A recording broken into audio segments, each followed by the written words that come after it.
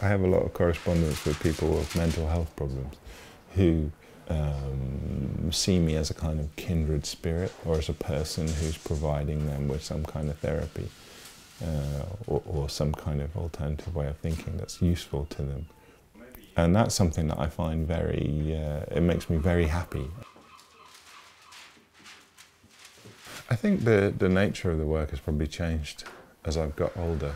I think it was darker and more morbid, more depressing before, whereas it's kind of lighter.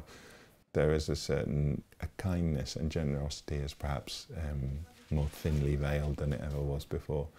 And I think that's probably because as a, as a person, I've, I, I just don't have the stomach for the misery anymore. Like, even though I'm sort of a cartoonist and my work sort of is cartoons, I've never actually been interested in cartoons. Like, I don't really have any interest in graphic novels and stuff. My um, education is all about fine art. It's all about Marcel Duchamp and Andy Warhol.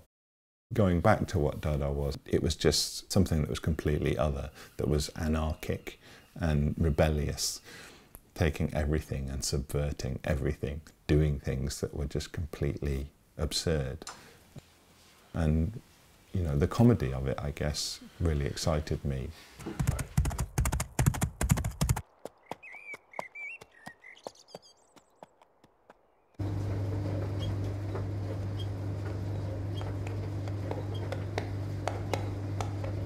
Good morning. Good morning to you.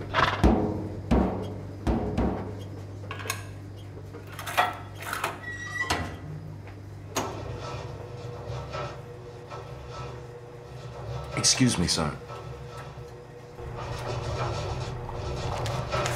What? It is not permitted to put your horse in the washing machine.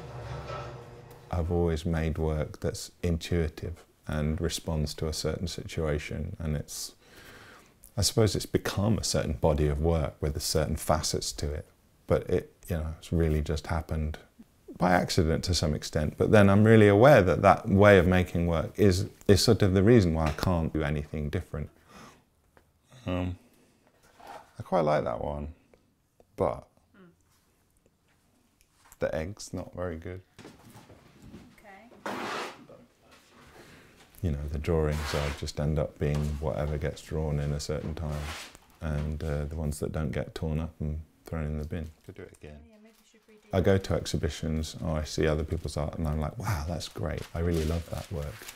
Um, but I know that I can't make that kind of work because I'm sort of not allowed. And whilst, you know, I do sort of deviate and make performance things and make other things, I'm on this path and I can't suddenly just be a shapeshifter and make something else. A series of electric guitars that I made were, um, I designed them my friend Tom actually made them. They're sort of designed aesthetically rather than in order to play well.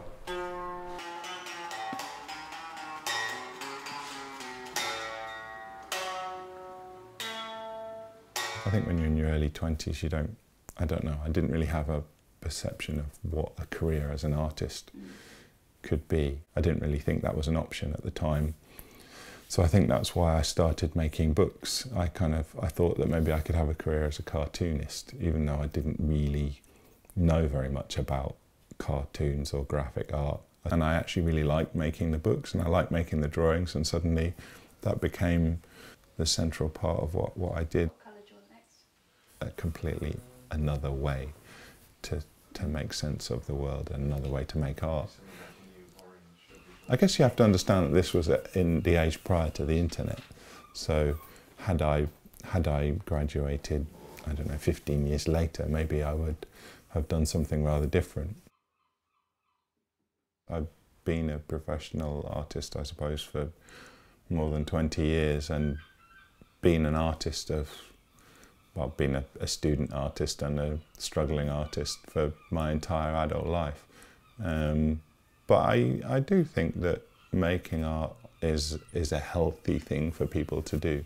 So I think that I'm, I'm lucky to do that as a, as a career.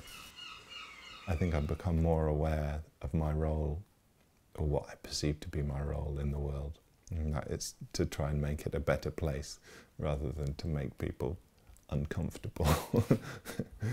so um, there is a message, a positive, optimistic message buried beneath the uh, the mordant darkness within my work, hopefully.